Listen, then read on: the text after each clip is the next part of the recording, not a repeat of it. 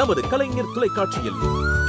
ரஞ்சிதமே ஆடி தங்க மழை ஜூலை பதினேழு முதல் ஆகஸ்ட் பதினேழு வரை தினம் ஒரு நபருக்கு ஒரு பவுன் தங்கம். நமது கலைஞர் தொலைக்காட்சியில் காணத்தவராதீர்கள்.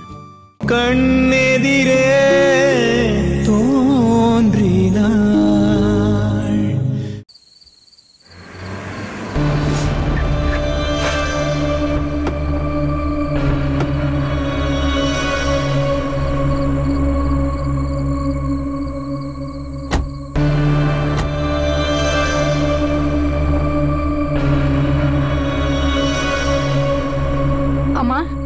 அந்த ரத்தினத்தாண்ட பேசும்போது கெத்தா தான் பேசினேன். இங்க வந்து பார்க்கும்போது பயமா இருக்குமா? நைட் நேரத்துல வேற வந்திருக்கோம். அவன் வேற கோவத்துல ஏதாவது பண்ணிட்டானா? அதெல்லாம் எதுவும் பண்ண மாட்டான். ஏன்னா கமலாவுக்கும் ரத்னத்துக்கும் மட்டுமே தெரிஞ்ச முக்கியமான ரகசியம் ஏதோ ஒண்ணு இருக்கு. அதனால பணத்தை வாங்கிக்கிட்டு நீ கனடாக்கு போகணும்னு தான் அவன் நினைப்பான். அவன் எப்பவும் என்ன கொலை பண்ற நோக்கத்திலே இருக்காமா? அதான் மனசுக்குள்ள பக்கு பக்குன்னு இருக்கு. நானும் இங்க தானே இருக்கேன். அவனால உன் உயிருக்கு ஆபத்து வந்தாலும் நான் வந்து உன்னை காப்பாத்திருவேன். நீ எதுக்கும் பயப்படாம தைரியமா அவன்கிட்ட போய் பேசு. சரிங்கம்மா. என்னோட கெஸ்ஸிங் மட்டும் சரியா இருந்தா அவன் உன்கிட்ட பணத்தை கொடுக்கும்போது கமலாவுக்கும் அவனுக்கும் தெரிஞ்ச ரகசியத்தை உன்கிட்ட சொல்லி இது நம்மள தவிர வேற யாருக்கும் தெரியக்கூடாதுன்னு தான் சொல்லுவான். அது என்னன்னு தெரிஞ்சுக்கிறதுக்கு தான் இந்த டிராமாவே. ஒரே கல்லுல ரெண்டு மாங்கா. அது என்னங்கிறது எனக்கு தெரிஞ்சிரும். உனக்கு போனஸா மூணு லட்சம் கிடைச்சிரும். ஆ, சரி. நீ அவன் வர சொன்ன இடத்துக்கு போ. நான் இந்த பக்கமா மறைஞ்சு நின்னு பாக்குறேன். சரிங்கம்மா. பயப்படாம போ.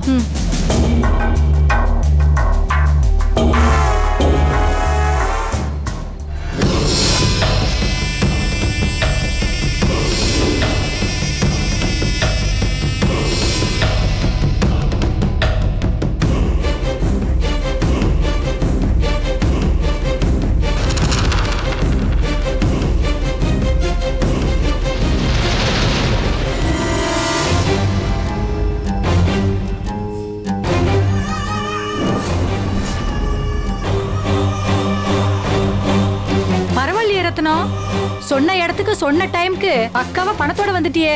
அதான் ரத்னம் உன்னால இனிமே எனக்கு எந்த தொல்லையும் வராதுங்கிற சந்தோஷம்தான். ம். முதல் தடவை நீ என்னை மிரட்டும் போதே உனக்கு எவ்வளவு பணம் வேணாலும் தரேன் இங்க இருந்து போயிடுன்னு சொன்ன ஆனா நீ தான் கேட்காம எனக்கு பிரச்சனை கொடுத்துக்கிட்டே இருந்த. அப்ப எனக்கு உன் மேல இருந்த பழைய கோவம் குறையவே இல்ல. உன்னை பழி வாங்குற எண்ணம் மட்டும்தான் இருந்துச்சு. ஆனா இப்ப என் பொண்ணும் என் உயிரும் தான் முக்கியம்னு தோணுது. அதனாலதான் என் முடிவை மாத்திக்கிட்டேன். நல்ல முடிவுதான்.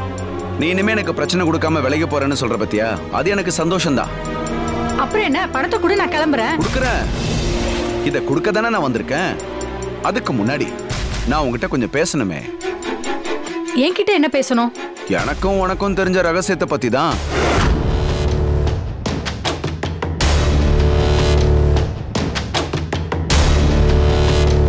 அதை தெரிஞ்சுக்கிறதுக்காக தாண்டா வந்திருக்கேன். மொத்த ரகசியத்தையும் அவகிட்ட சொல்லு.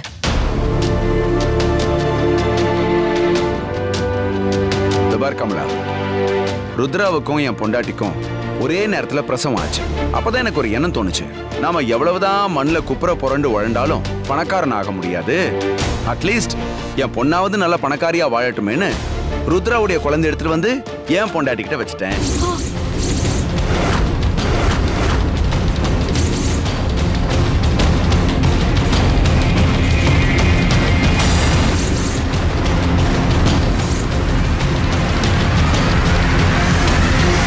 இத நீ பார்த்துட்ட அன்னைக்கு உனக்கு இருந்த பண தேவையை வச்சுக்கிட்டு உன்கிட்ட பணத்தை கொடுத்து உண்மையை சொல்ல விடாம பார்த்துக்கிட்டேன்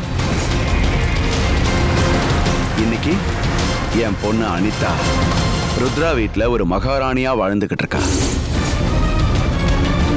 ஆனா ருத்ராவோட பொண்ணு எனக்கு வாரிசா இருந்துகிட்டு இருக்கா.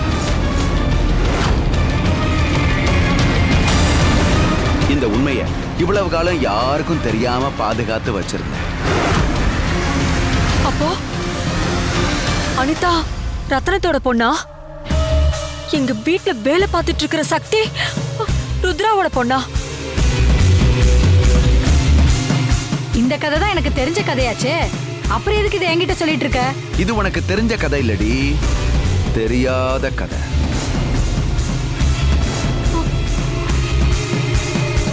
என்ன இவன்?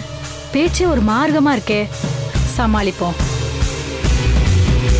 இந்த கதையெல்லாம் எனக்கு தெரியாதுன்னா எப்படி? நான் கமலா இல்லைன்னு சந்தேகப்படுறியா? சந்தேகப்படலடி. கன்ஃபார்மா சொல்றேன். நீ கமலா இல்ல. நீ கமலா மாதிரி இருக்கிற ஒருத்தி. யாரோ பின்னாடி இருந்துகிட்டு எங்கிட்ட இருந்து இந்த ரகசியத்தை வாங்குறதுக்காக உன்னை இங்க அனுப்பி வச்சிருக்காங்கன்னு எனக்கு நல்லாவே தெரியும்.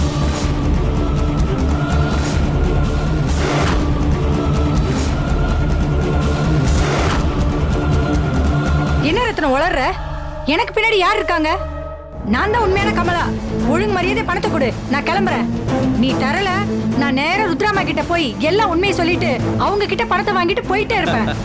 ஏய் டூப்ளிகேட் உன்னை இங்க இருந்து போக விட்டாதானடி நீ ருத்ரா கிட்ட போய் உண்மையை சொல்லுவ. நீ தான் இங்கே பணமாக போறிய. ஐயோ. என்ன ரத்னம்? மிரட்டி பாக்குறியா நான் இதுக்கெல்லாம் பயப்பட மாட்டேன். ஏய்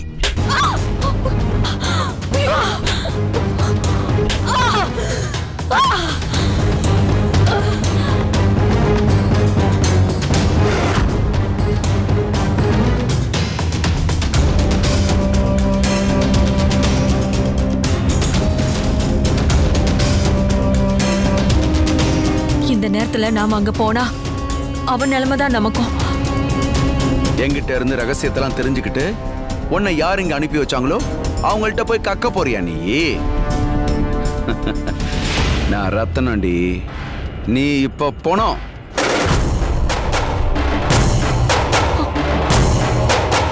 உனக்கு தேவை பணம் இல்லடி. வாய்க்கரிசி அதை வேணா போடுறேன்.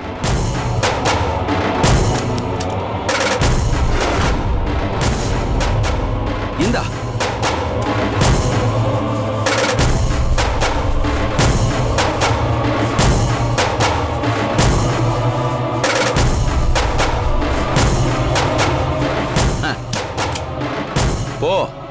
மேல போய் நல்ல உன் ரகசியத்தை சொல்லு. இங்க சென்னாய் ஜாஸ்தி. இன்னும் கொஞ்ச நேரத்துல அது வந்து பிச்சு தின்னுடும் உன்ன. பரதேசி.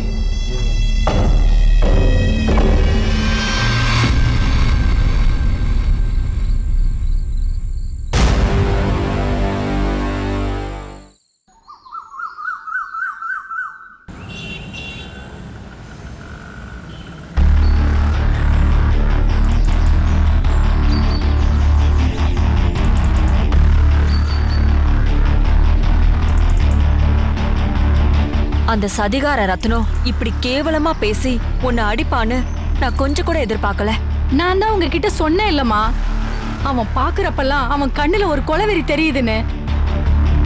அவன் மொத்த கோவத்தையும் என் தலையில இறக்கிட்டாமா அந்த கசுமாலம். அவ்வளவுதான்.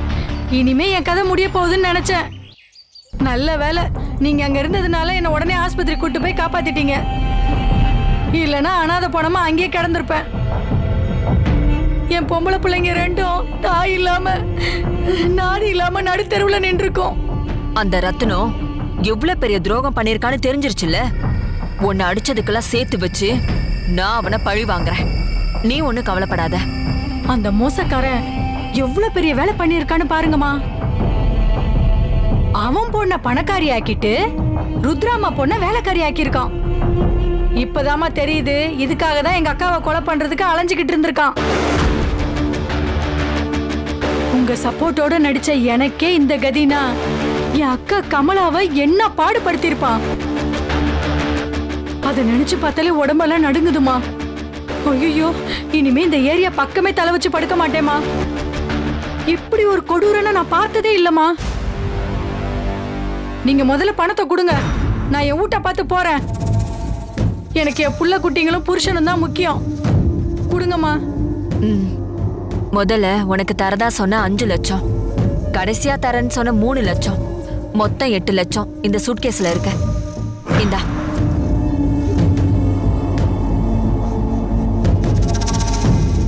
விமலா ரொம்ப தேங்க்ஸ் உன்னை வச்சுதான் ஒரு மிகப்பெரிய ரகசியத்தை என்னால கண்டுபிடிக்க முடிஞ்சது. இந்த உதவிய நான் எப்பவும் மறக்க மாட்டேன். நானும் உங்களை எப்பவுமே மறக்க மாட்டேமா கொடுத்த வாக்கு மாறாம பேசின பணத்தை கொடுத்ததுக்கு ரொம்ப ரொம்ப நன்றிங்கம்மா. ஆ அப்புறம் இன்னொரு முக்கியமான விஷயம். சொல்லுங்கம்மா. இது வரைக்கும் நடந்த எந்த விஷயமும் வெளியில யாருக்குமே தெரியக்கூடாது. எக்காரணத்தை கொண்டும் உன் புருஷன் கிட்ட கூட இந்த விஷயத்த சொல்லவே கூடாது. புரிஞ்சுதா? ஐயோ நான் வாயவே திறக்க மாட்டேம்மா. திறந்தா எவ்வளவு பெரிய ஆபத்து வரும்னு எனக்கு நல்லா புரிஞ்சிருச்சு. நான் வந்தேன் நடிச்சேன் இங்க இப்படியெல்லாம் சம்பவம் நடந்ததுங்கிறதையே மறந்துடுறேம்மா. போதுமாமா சரி பத்திரமா போயிட்டு வா. சரிங்கம்மா.